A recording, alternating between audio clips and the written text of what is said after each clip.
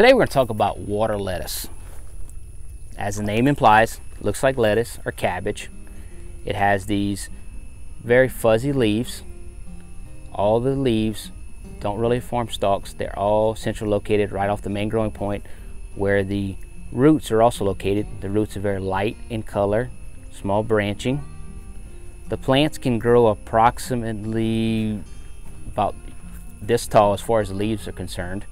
It doesn't mat up. It stays as a single layer across the water body, similar to water hyacinth. And just like water hyacinth, over time, it'll take over the whole water body because it starts with the main plant, and then here's a daughter plant that stalks right off, and then another daughter plant that keeps continuing to grow.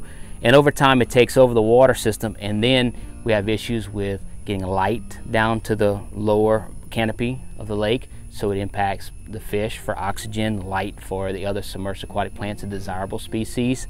And it also makes the water very stagnant and where we don't see much water movement, and unfortunately that's harboring sites for mosquitoes. There are a few control options as far as herbicides. For more information, please visit the LSU Ag Center or the Aquatic Plant Control Research Program websites.